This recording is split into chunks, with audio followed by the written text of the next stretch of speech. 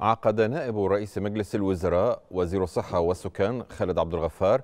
اجتماعا لمتابعة مستجدات العمل بالمرحلة الثانية من منظومة ميكنة المنشآت الطبية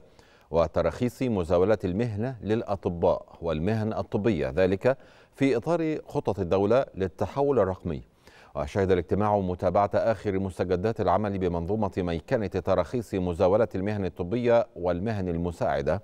وتأكيد الانتهاء من الأعمال الفنية تمهيدا لإطلاق الموقع الإلكتروني أمام المستخدمين مع الاتفاق على ضرورة تدريب العاملين بالإدارة المركزية للمؤسسات العلاجية غير الحكومية والتراخيص الطبية على كيفية التعامل مع الموقع الإلكتروني.